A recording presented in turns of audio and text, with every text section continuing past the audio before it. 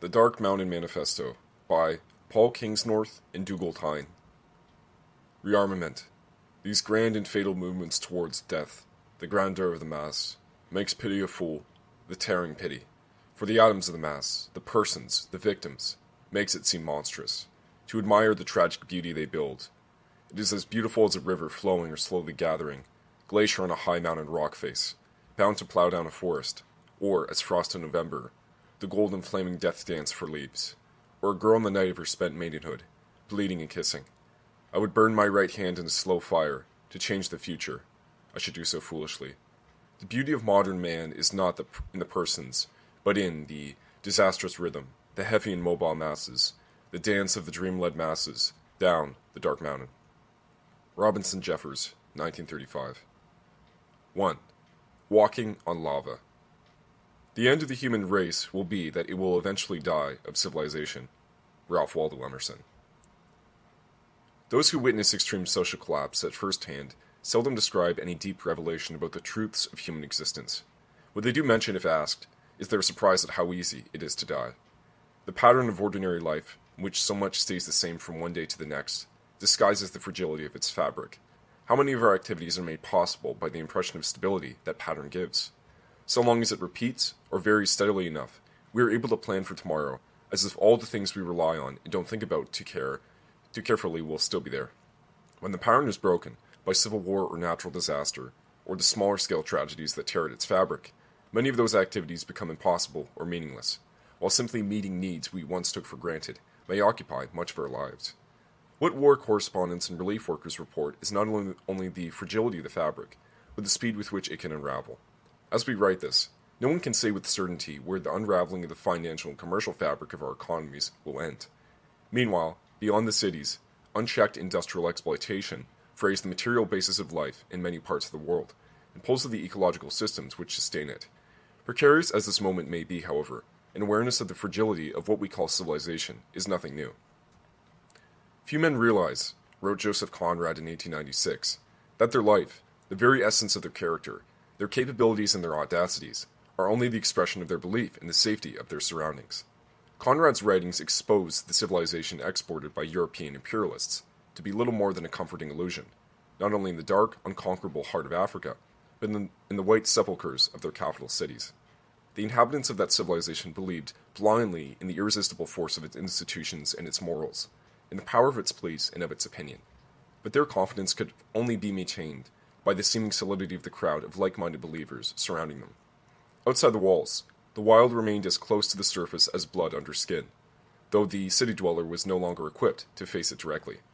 Bertrand Russell caught this vein in Conrad's worldview, suggesting that the novelist thought of civilized and morally tolerable human life as a dangerous walk on a thin crust, a barely cooled lava, which at any moment might break and let the unwary sink into fiery depths. What both Russell and Conrad were getting at was the simple fact which any historian could confirm.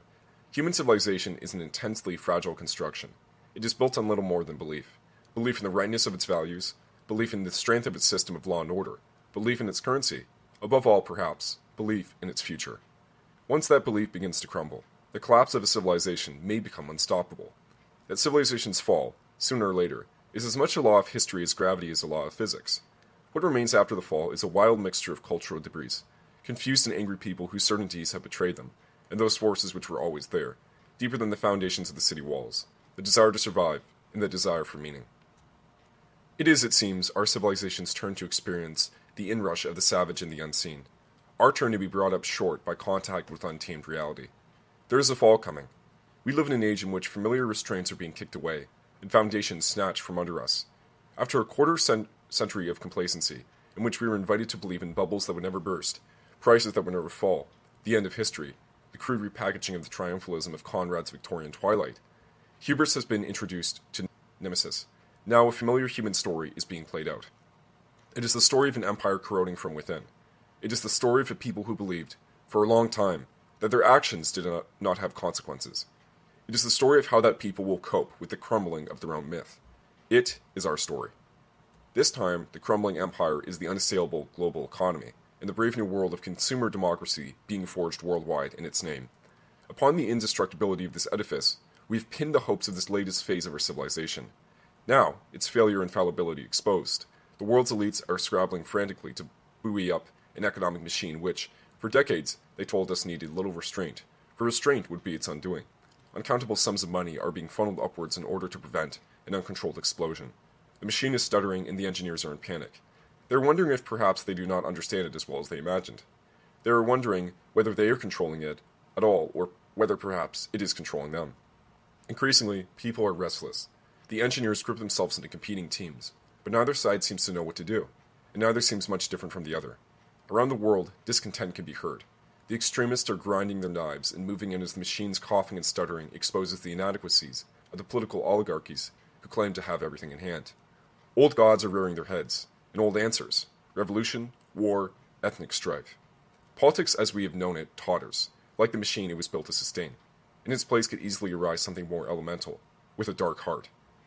As the financial wizards lose their powers of levitation, as the politicians and economists struggle to conjure new explanations, it starts to dawn on us that behind the curtain, at the heart of the Emerald City, sits not the benign and omnipotent invisible hand we have been promised, but something else entirely. Something responsible for what Marx, writing not so long before Conrad, cast as the everlasting uncertainty and anguish of the bourgeois epoch, a time in which all that is solid melts into air, all that is holy is profaned. Draw back the curtain, follow the tireless motion of cogs and wheels back to its source, and you will find the engine driving our civilization. The myth of progress. The myth of progress is to us what the myth of God given warrior prowess was to the Romans, or the myth of eternal salvation was to the conquistadors. Without it, our efforts cannot be sustained. Onto the root stock of Western Christianity, the Enlightenment at its, at its most optimistic grafted a vision of an earthly paradise, toward which human effort guided by calculative reason could take us. Following this guidance, each generation will live a better life than the life of those who went before it. History becomes an escalator, and the only way is up. On the top floor is human perfection. It is important that this should remain just out of reach in order to sustain the sensation of motion. Recent history, however, has given this mechanism something of a battering. The past century too often threatened a descent into hell, rather than the promised heaven on earth. Even within the prosperous and liberal societies of the West, progress has, in many ways, failed to deliver the goods. Today's generation are demonstrably less content and consequently less optimistic than those that went before. They work longer hours, with less security, and less chance of leaving behind the social background into which they were born. They fear crime, social breakdown, overdevelopment, environmental collapse. They do not believe that the future will be better than the past. Individually, they are less constrained by class and convention than their parents or grandparents, but more constrained by law, surveillance, state prescription, and personal death. Their physical health is better, their mental health more fragile. Nobody knows what is coming. Nobody wants to look. Most significantly of all, there is an underlying darkness at the root of everything we have built. Outside the cities, beyond the blurring edges of our civilization, at the mercy of the machine but not under its control, lies something that neither Marx nor Conrad, Kaiser nor Hume, Thatcher nor Lenin ever really understood. Something that Western civilization, which has set the terms for global civilization, was never capable of understanding, because to understand it would be to undermine, fatally, the myth of that civilization, something upon which that thin crust of lava is balanced, which feeds the machine and all the people who run it, in which they've all trained themselves not to see. 2. The severed hand. Then, what is the answer? Not to be deluded by dreams. To know that great civilizations have broken down into violence, and their tyrants come, many times before. When open violence appears, to avoid it with honor or choose the least ugly faction. These evils are essential. To keep one's own integrity, be merciful and uncorrupted, and not wish for evil, and not be duped by dreams of universal justice or happiness. These dreams will not be fulfilled. To know this, and know that however ugly the parts appear, the whole remains beautiful. A severed hand is an ugly thing, and man dissevered from the earth and stars in his history, for contemplation or in fact, often appears atrociously ugly. Integrity is wholeness. The greatest beauty is organic wholeness, the wholeness of life and things, the divine beauty of the universe. Love that, not man. Apart from that, or else you will share man's pitiful confusions, or drown in despair when his days darken. Robinson Jeffers, The Answer. The myth of progress is founded on the myth of nature. The first tells us that we are destined for greatness. The second tells us that greatness is cost free. Each is intimately bound up with the other. Both tell us that we are apart from the world, that we began grunting in the primeval swamps as a humble part of something called nature, which we have now triumphantly subdued. The very fact that we have a word for nature is evidence that we do not regard ourselves as part of it. Indeed, our separation from it is a myth integral to the triumph of our civilization. We are, we tell ourselves, the only species ever to have attacked nature and won. In this, our unique glory is contained. Outside the citadels of self congratulation, lone voices have cried out against this infantile version of the human story for centuries, but it is only in the last few decades that its inaccuracy has become laughably apparent. We are the first generations to grow up surrounded by evidence that our attempt to separate ourselves from so called nature has been a grim failure, proof not of our genius but our hubris. The attempt to sever the hand from the body has endangered the progress we hold so dear, and it has endangered much of nature, too. The resulting upheaval underlies the crisis we now face. We imagine ourselves isolated from the source of our existence. The fallout from this imaginative error is all around us. A quarter of the world's mammals are threatened with imminent extinction. An acre and a half of rainforest is felled every second. 75% of the world's fish stocks are on the verge of collapse. Humanity consumes 25% more of the world's natural products than the Earth can replace, a figure predicted to rise to 80% by mid century. Even through the deadening lens of statistics, we can glimpse the violence to which our own myths have driven us.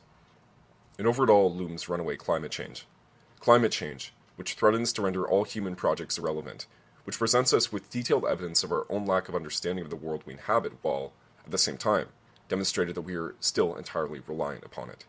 Climate change, which highlights in painful color the head on crash between civilization and nature, which makes plain, more effectively than any carefully constructed argument, or optimistically defined protests, how the machine's need for permanent growth will require us to destroy ourselves in its name. Climate change, which brings home at last our ultimate powerlessness. These are the facts, or some of them. Yet facts never tell the whole story. Facts, Conrad wrote in Lord Jim, as if facts could prove anything. The facts of environmental crisis we hear so much often conceal as much as they expose. We hear daily about the impacts of our activities on the environment, like nature. This is an expression which distances ourselves from the reality of our situation. Daily, we hear too of the many solutions to these problems. Solutions which usually involve the necessity of urgent political agreement and a judicious application of human technological genius. Things may be changing, runs the narrative, but there's nothing we can cannot deal with here, folks. We perhaps need to move faster, more urgently. Certainly, we need to accelerate the pace of research and development. We accept that we must become more sustainable, but everything will be fine. There will still be growth, there will still be progress. These things will continue, because they have to continue, so they cannot do anything but continue. There's nothing to see here. Everything will be fine. We do not believe that everything will be fine. We are not even sure, based on current definitions of progress and improvement, that we want it to be. Of all humanity's delusions of difference, of its separation from and superiority to the living world which surrounds it, one distinction holds up better than most. We may well be the first species capable of effectively eliminating life on Earth. This is a hypothesis we seem intent on putting to the test. We are already responsible for denuding the world of much of its richness, magnificence, beauty, color, and magic, and we show no sign of slowing down. For a very long time, we imagined that nature was something that happened elsewhere. The damage we did to it might be regrettable, but needed to be weighed against the benefits here and now. And in the worst case scenario, there would always be some kind of plan B. Perhaps we would make it for the moon, where we could survive in lunar colonies under giant bubbles, as we planned our expansion across, expansion across the uh, galaxy. But there is no plan B, and the bubble, it turns out, is where we've been living all the while. The bubble is that delusion of isolation under which we've labored for so long. The bubble has cut us off from life on the only planet we have, or ever, li- ever likely to have. The bubble is civilization. Consider the structures on which that bubble has been built. Its foundations are geological coal, oil, gas, millions upon millions of years of ancient sunlight, dragged from the depths of the planet and burned with abandon. On this base, the structure stands. Move upwards, and you pass through a jumble of supporting horrors battery chicken sheds, industrial abattoirs, burning forests, beam trawled ocean floors, dynamited reefs, hollowed out mountains, wasted soil. Finally, on top of all these unseen layers, you reach the well tended surface where you and I stand, unaware or uninterested in what goes on beneath us, demanding that the authorities keep us in the manner to which we have been accustomed, occasionally feeling twinges of guilt that lead us to buy organic chickens or locally produced lettuces, yet for the most part glutted, but not sated, on the fruits of the horrors on which our lifest- lifestyles depend. We are the first generations born into a new and unprecedented age, the age of ecocide. To name it thus to not presume the outcome, but simply to describe a process which is underway. The ground, the, the sea, the air, the elemental backdrops to our existence, All these our economics have taken for granted, to be used as a bottomless tip, endlessly able to dilute and disperse the tailings of our extraction, production, and consumption. The sheer scale of the sky or the weight of a swollen river makes it hard to imagine that creatures as flimsy as you or I could do that much damage. Philip Larkin gave voice to this attitude, and the creeping, worrying end of it in his poem, Going, Going. Things are tougher than we are, just as the earth will always respond. However we mess it about, chuck filth in the sea if you must. The tides will be clean beyond. But what do I feel now? Doubt? Nearly forty years on from Larkin's words, doubt is what all of us seem to feel, all of the time. Too much filth has been chucked in the sea and into the soil and into the atmosphere to make any other feeling sensible.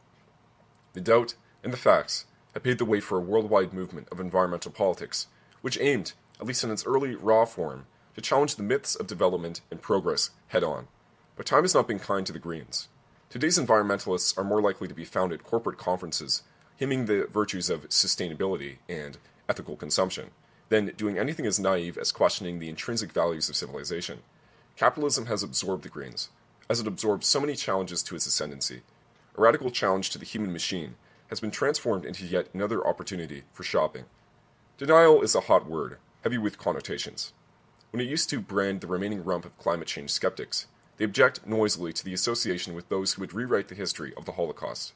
Yet the focus on this dwindling group may serve as a distraction from a far larger form of denial, in its psychoanalytic sense.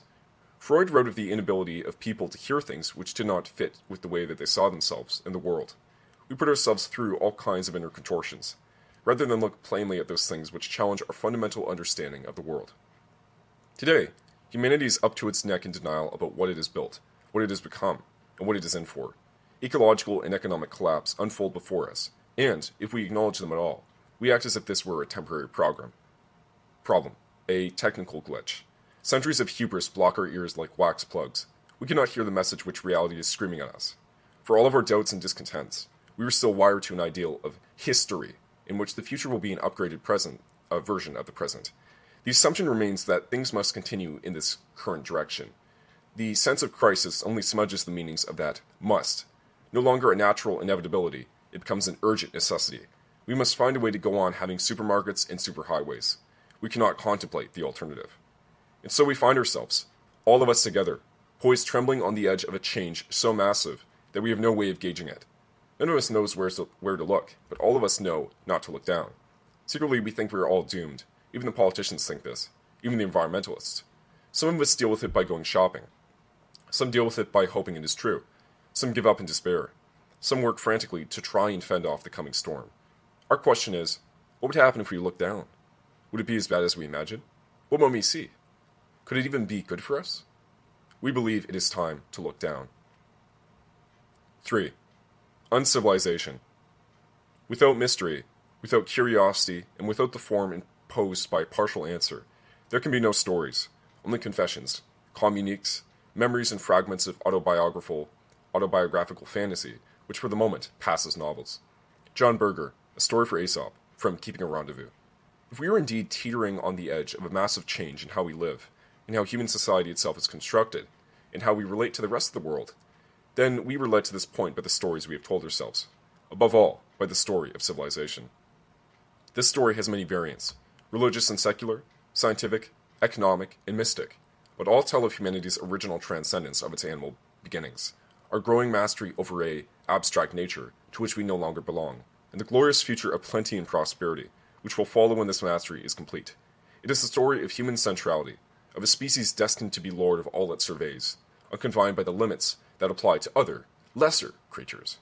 What makes the story so dangerous is that, for the most part, we have forgotten that it is a story, it has been told so many times by those who see themselves as rationalists, even scientists, heirs to the Enlightenment's legacy, a legacy which includes the denial of the role of stories in making the world. Humans have always lived by stories, and those with skill in telling them have been treated with respect and often a certain wariness. Beyond the limits of reason, reality remains mysterious, as incapable of being approached directly as a hunter's quarry. With stories, with art, with symbols and layers of meaning, we stalk those elusive aspects of reality that go undreamed of in our philosophy. The storyteller weaves the mysterious into the fabric of life, lacing it with the co- comic, the tragic, the obscene, making safe paths through dangerous territory. It is the myth of civilization deepen its grip on our thinking, borrowing the guise of science and reason, we began to deny the role of stories, to dismiss their power as something primitive, childish, outgrown. The old tales by which generations had made sense of life's subtleties and strangeness were bowdlerized and packed off to the nursery. Religion, that bag of myths and mysteries, birthplace of the feeder, was strained out into a framework of universal laws and moral account keeping. The dream visions of the Middle Ages became the nonsense stories of Victorian childhood. In the age of the novel, stories were no longer the way to approach the deep truths of the world, so much as a way to pass time on a train journey. It is hard today to imagine the word of a poet was once feared by a king. Yet for all of it, all of this, our world is still shaped by stories. Through television, film, novels, and video games, we may be more thoroughly bombarded with narrative material than any people that ever lived. What is peculiar, however, is the carelessness with which these stories are channeled as, as entertainment, a distraction from daily life, something to hold our attention to the other side of the ad break. There is little sense that these things make up the equipment by which we navigate reality. On the other hand, there are the stories told by economists, politicians, geneticists, and corporate leaders, generally classified as serious. These are not presented as stories at all, but as direct accounts of how the world supposedly is. Choose between competing visions, then fight with those who choose differently. The ensuing conflicts play out on early morning radio and afternoon debates and late night television pundit wars. And yet, for all the noise, what is striking is how much the opposing sides agree on. All stories are only variants of the larger story of human centrality, of our ever expanding control over nature, our right to perpetual economic growth, our ability to transcend all limits. So we find ourselves, our ways of telling unbalanced, trapped into in a trapped inside a runaway narrative, headed for the worst kind of encounter with reality. In such a moment, writers, artists, poets, and storytellers of all kinds have a critical role to play. Creativity remains the most uncontrollable of human forces. Without it, the project of civilization is inconceivable, yet no part of life remains so untamed and undomesticated. Words and images can change minds, hearts, even the course of history. Their makers shape the stories people carry throughout their lives, unearth old ones and breathe them back to life, add new twists, point to unexpected endings. It is time to pick up the threads and make the stories new, as they must always be made new, starting from where we are. Mainstream art in the West has long been about shock, about busting taboos, about getting noticed. This has gone on for so long that it has become common to assert that in these ironic, exhausted, post everything times, there are no taboos left to burst. But there is one. The last taboo is the myth of civilization. It is built upon the stories we have constructed about our genius, our indestructibility, our manifest destiny as a chosen species. It is where our vision and our self belief intertwine with our reckless refusal to face the reality of our position on this earth. It has led the human race to achieve what it has achieved, and has led the planet into the age of ecocide. The two are intimately linked. We believe they must be decoupled if anything is to remain. We believe that artists, which is to us the most welcoming of words, taking under its wing writers of all kinds, painters, musicians, sculptors, poets, designers, creators, makers of things, dreamers of dreams, have a responsibility to begin the process of decoupling. We believe that, in the age of ecocide, the last taboo must be broken, and that only artists can do it. Ecocide demands a response. That response is too important to be left to politicians, economists, conceptual thinkers, number crunchers, too all, pers- too all pervasive to be left to activists or campaigners. Artists are needed. So far, though, the artistic response has been muted. In between traditional nature poetry and agitprop, what is there? Where are the poems that have adjusted their scope to the scale of this challenge? Where are the novels that probe beyond the country house or the city center? One new form of writing has emerged to challenge civilization itself. What gallery mounts an exhibition equal to this challenge? What musician has discovered the secret chord? If the answers to these questions have been scarce up to now, it is perhaps both because the depth of collective denial is so great and because the challenge is so very daunting. We were daunted by it ourselves, but we believe it needs to be risen to. We believe that art must look over the edge, face the world that is coming with a steady eye, and rise to the challenge of ecocide with a challenge of its own, an artistic response to the crumbling of the empires of the mind. This response we call uncivilized art, and we are interested in one branch of it in particular uncivilized writing. Uncivilized writing is writing which attempts to stand outside the human bubble and see us as we are. Highly evolved apes with an array of talents and abilities which we are unleashing without sufficient thought, control, compassion, or intelligence. Apes who have constructed a sophisticated myth of their own importance with which to sustain their civilizing project.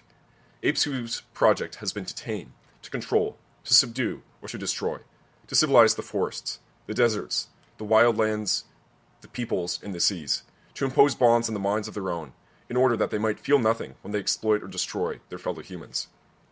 Against this civilizing project, which has become uh, which has become the progenitor of ecocide, uncivilized writing offers not a non-human perspective. We remain human and even now are not quite ashamed, but a perspective which sees us as one strand of, uh, of a web, rather than the first palanquin on a glorious procession. It offers an unblinking look at the forces among which we find ourselves. It sets out to paint a picture of Homo sapiens, which being from another world, or better, being from our own, a blue whale, an albatross, a mountain hare, might recognize as something approaching a truth. It sets out to tug our attention away from ourselves and turn it outwards, to uncenter our minds. It is writing, in short, which puts civilization, in us, into perspective. Writing that comes not, as most writing still does, from the self absorbed and self congratulatory metropolitan centers of civilization, but from somewhere on its wilder fringes, somewhere woody and weedy and largely avoided, from where insistent, uncomfortable truths about ourselves drift in. Truths which we're, which we're uh, not keen on hearing. Writing which unflinchingly stares us down, however uncomfortable this may prove. It might perhaps be just as useful to explain what uncivilized writing is not. It is not environmental writing, for there is much of that um, about it already, and most of it fails to jump the barrier which marks the limit of our collective human ego. Much of it indeed ends up shoring that ego and helping us persist in our civilization delusions. It is not nature writing, for there is no such thing as nature as distinct from people, and to suggest otherwise is to perpetuate the attitude which has brought us here. And it is not political writing, with which the world is already flooded, for politics is a human confection, complicit in ecocide and decaying from within. Uncivilized writing is more rooted than any, any of these. Above all, it is determined to shift our worldview, not feed into it. It is writing for outsiders. If you want to be loved, it might be best not to get involved, for the world, at least for a time, will resolutely refuse to listen. A salutary example of this last point can be found in the fate of one of the 20th century's most significant, yet most neglected poets. Robinson Jeffers was writing uncivilized verse, 70 years before this manifesto was thought of, though he did not call it that. In his early poetic career, Jeffers was a star. He appeared on the cover of Time magazine, read his poems in the U.S. Library of Congress, was respected for the alternative he offered to the modernist juggernaut. Today, his work is left out of anthologies. His name is barely known, and his politics are regarded with suspicion. Read Jeffers' later work, and you will see why. His crime was to deliberately puncture humanity's sense of self importance. His punishment was to be sent into lonely literary exile from which, forty years after his death, he has still not been allowed to return. But Jeffers knew what he was in for. He knew that nobody, in an age of consumer choice, wanted to be told by the stone faced prophet of the Californian, Californian cliffs that it is good for man to know that his needs in nature are no more changed, in fact, in 10,000 years, than the beaks of eagles. He knew that no comfort liberal, comfortable liberal wanted to hear his angry warning, issued at the height of the Second World War keep clear of the droops that talk democracy, and the dogs that talk revolution, drunk with talk, liars, and believers. Long live freedom, and damn the ideologies. His vision of a world in which humanity was doomed to destroy its surroundings and eventually itself, I would burn my right hand in a slow fire to change the future, I should do so foolishly, was furiously rejected in a rising age of consumer democracy, which he also predicted. Be happy, adjust your economics to the new abundance. Jeffers, as, as his poetry developed, developed a philosophy too.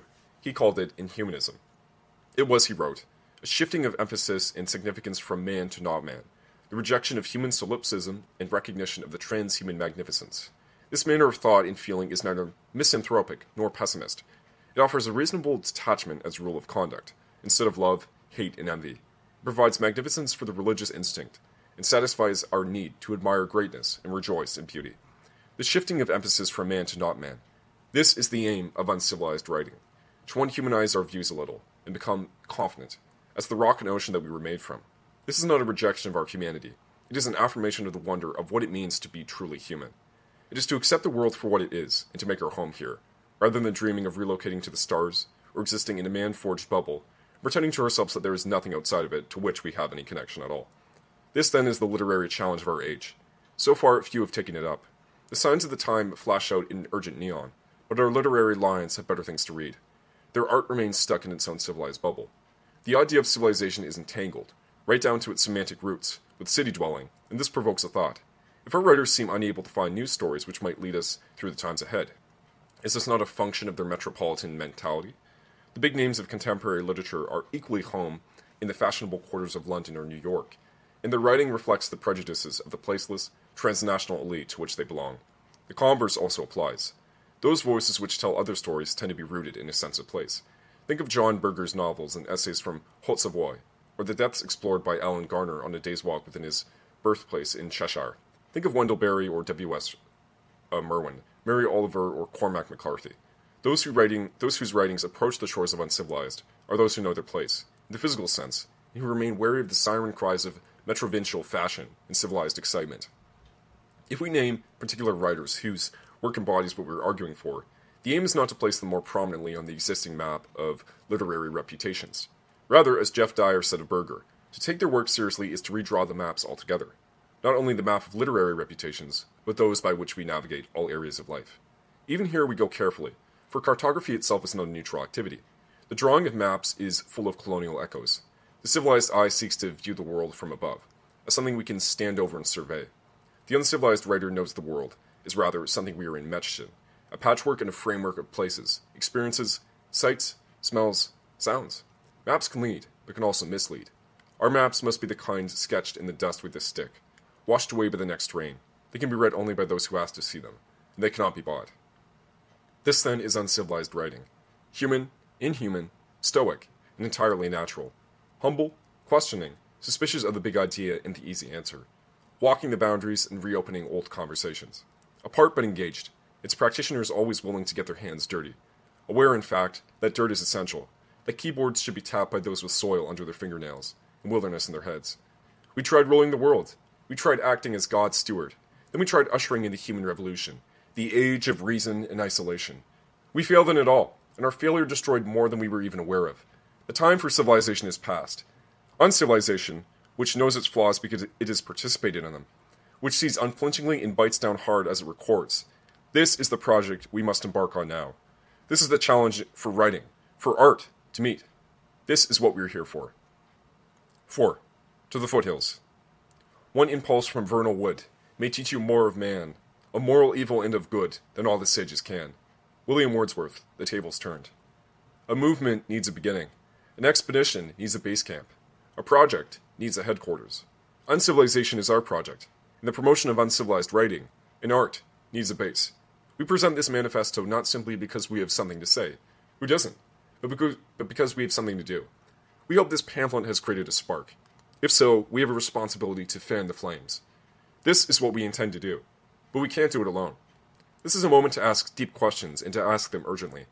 All around us, ships are underway which suggest that our whole way of living is already passing into history.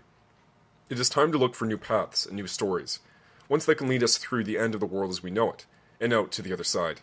We suspect that by questioning the foundations of civilization, the myth of human centrality, or imagined isolation, we may find the beginning of such paths. If we are right, it will be necessary to go literally beyond the pale.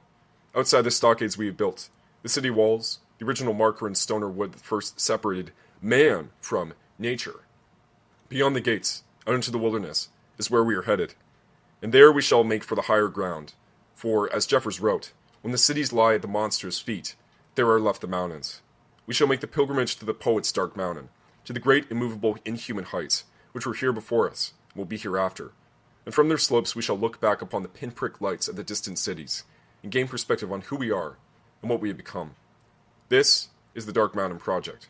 It starts here. Where will it end? Nobody knows. Where will it lead? We are not sure. Its first incarnation, launched alongside this manifesto, is a website which points the way to the ranges.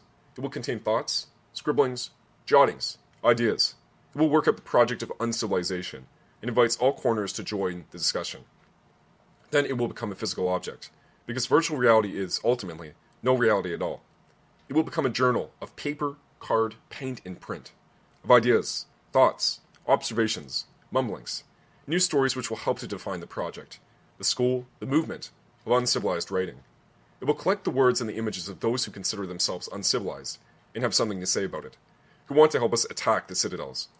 It will be a thing of beauty for the eye and the heart and of the mind, for we are unfashionable enough to believe that beauty, like truth, not only exists, but still matters. Beyond that, all that is currently hidden from view. It is a long way across the plains, and things become obscured by distance. There are great white spaces on this map still. The civilized world would fill them in. We are not sure we want to but we cannot res- resist exploring them, navigating by rumors and by the stars. We don't know quite what we will find. We are slightly nervous, but we will not turn back. for we believe that something enormous may be out there, waiting to meet us. Uncivilization, like civilization, is not something that can be created alone. Climbing the Dark Mountain cannot be a solitary exercise. We need bearers, Sherpas, guides, fellow adventurers. We need to rope ourselves along t- together for safety. At present, our form is loose and nebulous.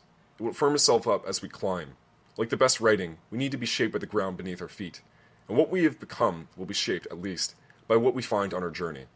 If you'd like to climb at least some of the way with us, we would like to hear from you. We feel sure that there are others out there who would relish joining us in our expedition. Come, join us. We leave at dawn. The Eight Principles of Uncivilization. We must unhumanize our views a little and become confident as the rock and ocean that we were made from. 1. We live in a time of social, economic, and ecological unraveling. All around us are signs that our whole way of living is already passing into history. We will face this reality honestly and learn how to live with it. 2. We reject the faith which holds that the converging crises of our time can be reduced to a set of problems, in need of technological or political solutions. 3. We believe that the roots of these crises lie in the stories we've been telling ourselves. We intend to challenge the stories which underpin our civilization the myth of progress, the myth of human centrality, and the myth of our separation from nature. These myths are more dangerous for the fact that we have forgotten they are myths. 4.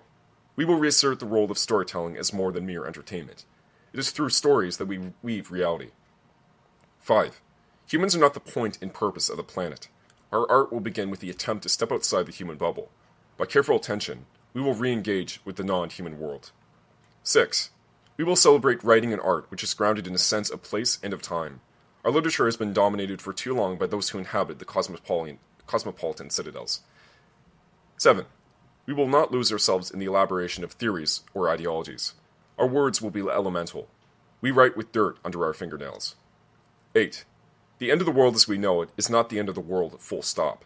Together we will find the hope beyond hope, the paths which lead to the unknown world ahead of us.